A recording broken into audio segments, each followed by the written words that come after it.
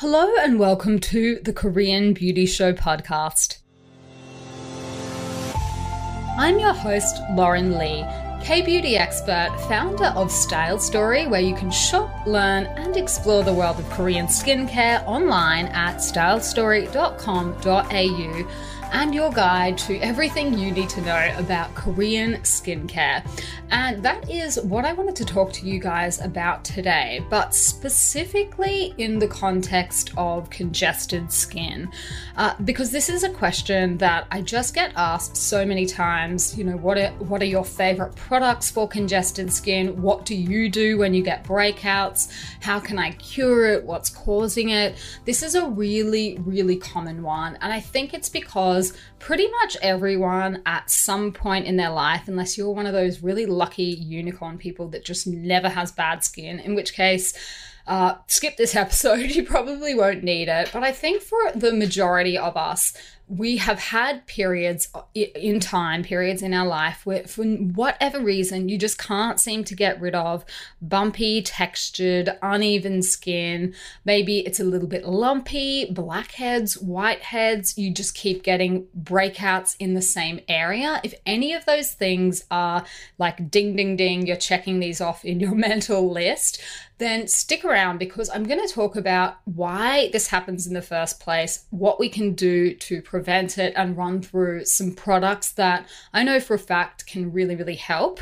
Uh, so, look, let's unpack it and let's start off with why skin becomes congested. There are a laundry list of reasons. You you will probably be a little uh, upset to hear. It's not just one thing. Common culprits can include things like hormones, your diet, stress, pollution, uh, medication, even. There are a lot of medications that can change how much oil our skin produces, uh, and they can have a really big impact and just throw everything a little bit out of whack. The other thing that can often get overlooked is an improper skincare routine. And that also means using products that are just not right for you. Uh, jumping on maybe the latest TikTok trend or over exfoliating your skin, all of those kind of things. Uh, and the reason that a lot of people worry about congestion in the first place is because it can lead to more serious things like acne. So, the first thing that I want to sort of start out by saying is that congested skin is quite common in younger people, particularly teens and adolescents.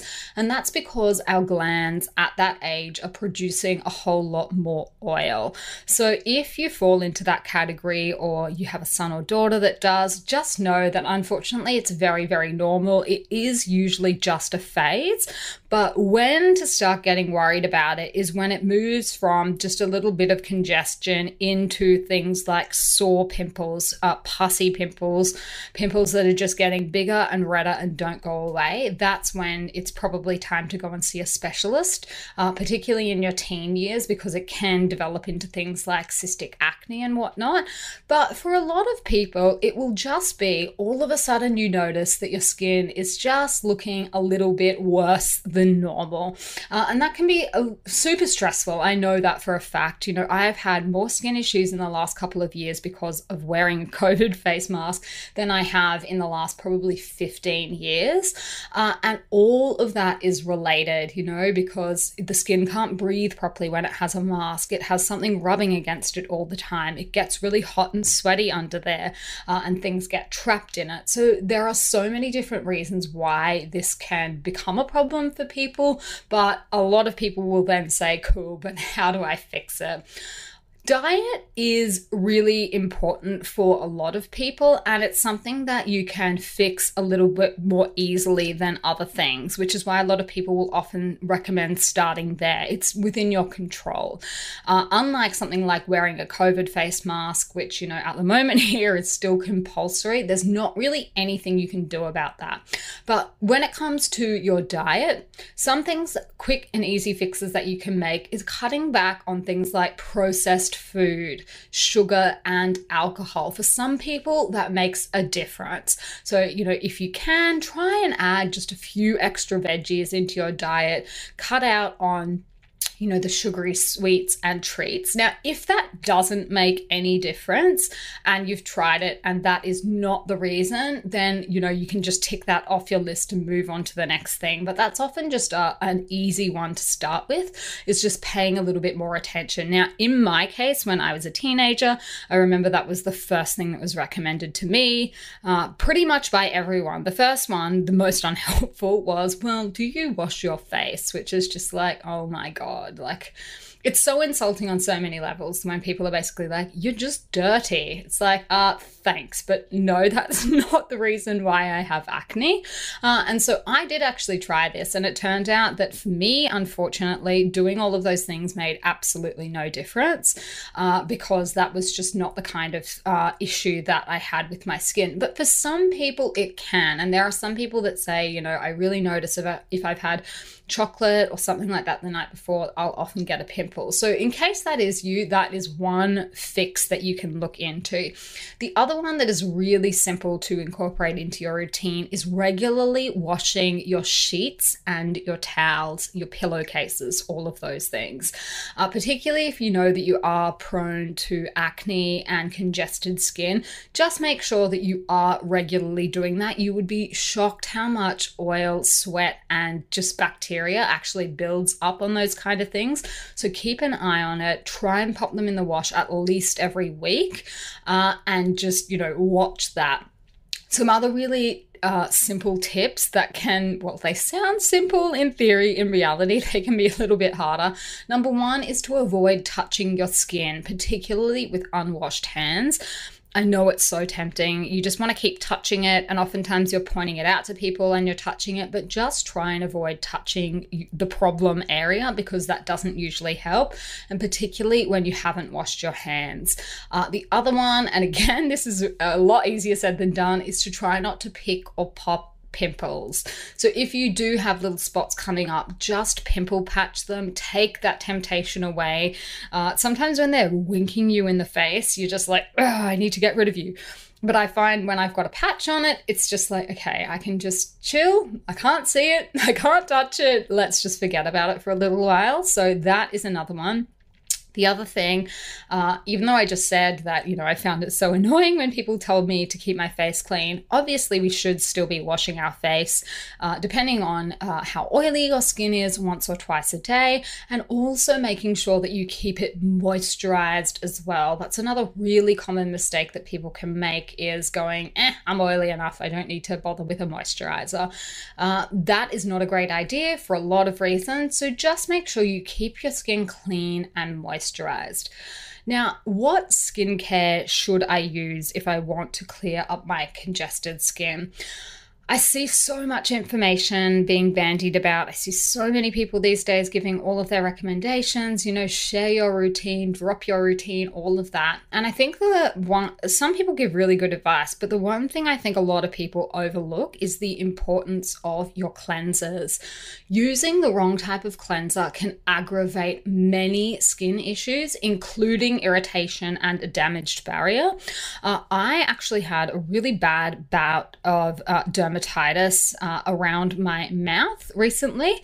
And one thing that helped me, normally I don't cleanse in the morning just because of how dry my skin is. But one thing that actually helped was using a foaming cleanser, uh, a powder cleanser in my routine every morning just to keep the skin clean.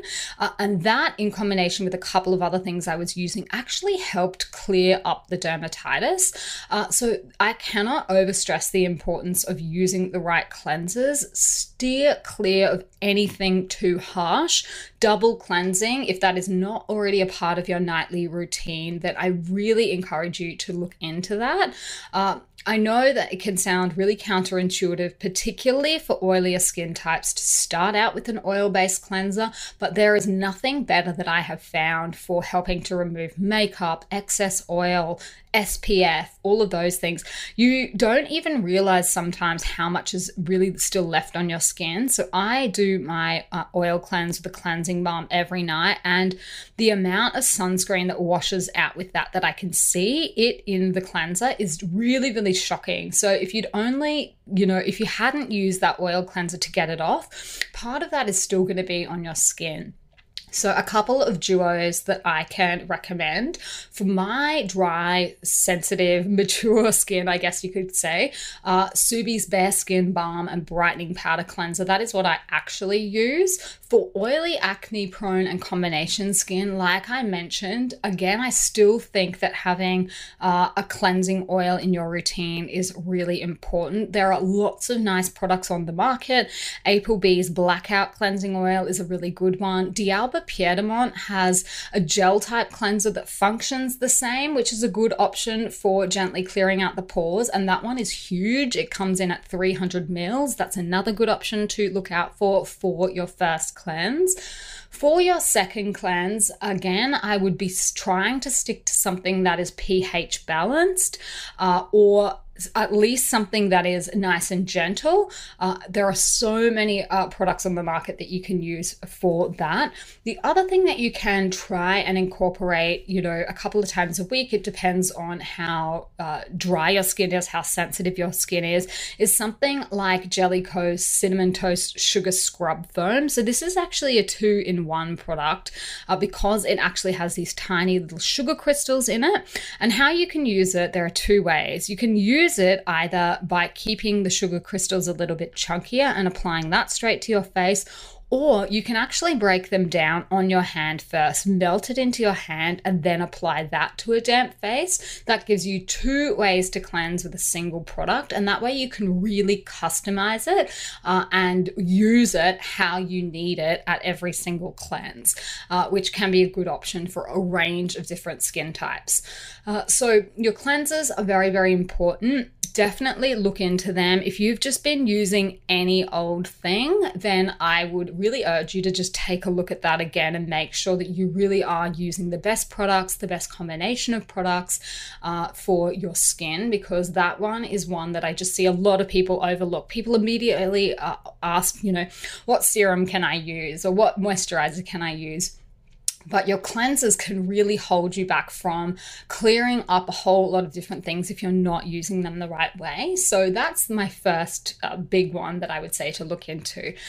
Now, the other one is your toners. So, I think toner is still a really good step in your routine, particularly when your skin is congested.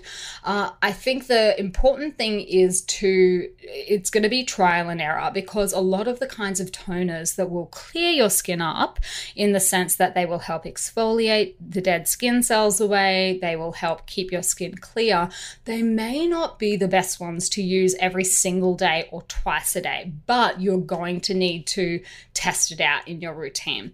Uh, so, for example, a couple of products that I really like are It's Tree's Clear Skin BHA Toner. That's quite a nice one because it does combine the BHAs along with Centella asiatica plus sodium hyaluronate and licorice extract. Another one that is similar but a little bit thicker and a little bit almost creamier is Apelbee's AHA BHA PHA glutathione seeker toner. Is there a longer name for a toner in the world? I'm not sure. But again, it combines a whole lot of different acids into a nice formula.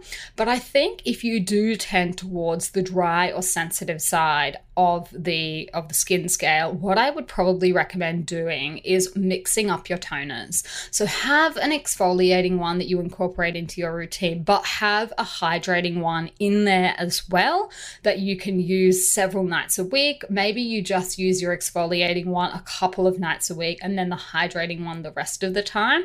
Uh, that is a, a really good way to make sure that you don't uh, damage, irritate, over exfoliate, all of those things with your toner. And that's even for people that tend towards the oilier side. You can still experience all of these things. Uh, so, our Jelly Ko Dewy Glaze toner is obviously perfect for this just because it is a hydrating, thick, chunky uh, one, but it won't weigh your skin down at all. So, a lot of people that have combination and oily skin use it as well. And that is a great way to do it, is just to mix up your toner. When it comes to skin treatments that you can use to combat congestion, lots and lots of different things on the market. And I think it will really come down to how you like to use your products, the textures and things that you like. So, some people really love their chemical exfoliants. Uh, and if that's you and you do like these products, you get good results from them and they don't cause you any issues, then there are many nice ones on the K Beauty market at the moment. Some of them are the Isntree Chestnut AHA 8% clear essence. And this one has uh, glycolic acid. That is the one of the smallest types of AHAs, which makes it really good for penetrating into the skin. Lactic acid as it also contains, but AHA at 8% is quite high. Uh, so if you're looking for something on the chemical exfoliant uh, side of things that is a little bit more gentle, then something like COSRX BHA Blackhead Power Liquid might be a better bet for you. Uh, I personally like to use a clay mask just because chemical exfoliants and my skin really do not mix. I often get flushing, redness, and just irritation that tells me that they're just not the right fit for me. Uh, something like Subi's Hollow Dream Pore Minimizing Mask is a good option for people like myself uh, because it doesn't, it, it's non drying and it doesn't include any fragrances. The other types of skin treatments that you could use if you like the, the texture and the feeling are the peeling gels. Uh, so these are the ones that basically function, it's like a gommage type product. They're really good for exfoliating your skin, and you may have seen them because it almost looks like when you're using them that it's the dead skin coming off your face. Uh, you know, those ones that have like bits coming off them when you rub them on your face. So it's technically just the formula, that's how it's designed to work, but it's really a nice, pleasing sensation. Uh, we've got a couple of different ones on our site. We've got the Beauty of Joseon one, the peeling gel is quite popular. We also have one from April B as well. I think it's called Refresh Peeling Gel. So a couple of different options. Uh, the, these ones are, you know, very, uh, it's a popular style in Korea. And I noticed that Huda, uh, her, her skincare line, Wishful Skincare, they've actually got one. I think it's called Yo Glow. It's in a yellow tube, but she actually makes her products here in Korea. So if you're after something like that, you could look at one of those ones. The other way would be uh, an exfoliating serum, something like Be the Skin's BHA and Pore Zero serum, uh, which is formulated with 1% of willow BHA. You could bring it into your skincare routine here. But the point of all of these treatments, all of these different options, is exfoliation. So we're looking to clarify, unblock the pores, exfoliate and clear the skin. Uh, it's a really important part of our skincare routines. The key is just to choose the right product for you that doesn't sensitize, irritate, damage your skin, dry it out too much, cause flushing, redness, or any of those things. So play around. There are so many different options out there. Patch test, or always, particularly with these kind of products, uh, but just find find something. I think the mark of a good product and the right product for you will be consistency. So, something that you can use regularly. If it's the kind of product that you can use once in a blue moon because it blasts your skin off, it's you're not going to get the results that you need. Consistency is super important. And the other thing is something that you enjoy using. So, if you hate the smell of it, if you hate the texture, if it burns or something like that, that is not a product that you're probably going to keep using. So, I would recommend skipping past that and finding something else. Uh, there are just so many different ones. There is no point, you don't need to stick along with something that you just really can't stand. Uh, and it will just be a process of trial and error, finding a consistency, a product type or texture, or some ingredients that really agree with your skin that you can happily use on a regular basis so you get the results you need without irritating your skin. The other thing not to overlook is your moisturizers. So, getting your moisturizer right when your skin is congested is really important. We don't want anything too heavy, but you do want your skin to feel hydrated, soothed, and soft. Uh, and the reason these are so important is because it's all about balancing the skin. We don't want too much oil, but we don't want too little. And this is another thing that you do kind of need to play around with and work out which texture, uh, which thickness, and which ingredients really your skin just drinks up and feels really comfortable and nice after you've used it. So, some options that you might like Uh, if you have oilier type skin, if you're acne prone, if you are a teenager with younger skin, uh, one thing has a beautiful centella soothing cream. It's also vegan uh, and that features Cica, centella asiatica, which is really good for people with red, irritated skin. Uh, and the reason I suggest this for oilier and younger skin types is just because of how lightweight it is. I think if you have more mature skin like me, you're just not going to get the moisture you need from it. It's not going to be enough. If you are combination, so a little bit, uh, need just a little bit more from your moisturizer, Apelbee's Healing Moisture Black Snail Cream is a really nice one. Uh, so many good ingredients, including the snail. It has beta glucan and macadamia seed oil as well. So that's a really nice one. I know some people with oilier skin use that at night as well. They say it's a bit too much during the day for them, but it's nice at night. Uh, if you are after a nice, gentle retinol cream to help manage your congestion, Chosungah 22 has their retinol cream, which contains a stabilized form, and that's a nice one. I would probably suggest that one more for people in their 20s and 30s. If you are wanting a slightly richer formula that also targets the signs of aging while hydrating skin, Apelbee's uh, AHA, BHA, PHA glutathione seeker cream is the one that I would suggest. So lots and lots of different options, but the most important thing when the skin is congested is not to go too heavy, uh, but just to make the skin feel really nice and comfortable. Moisture is so important and hydration is still really, really important.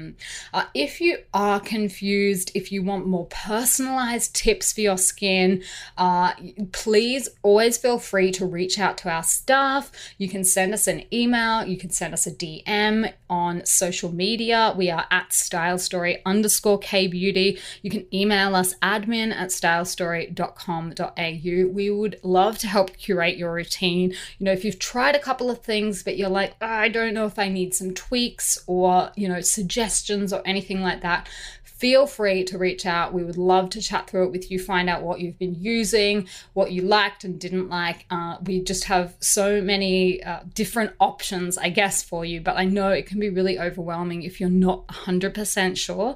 So we would always love to help put a routine together for you, even if it is just adding in one thing into a routine that you're otherwise really happy with.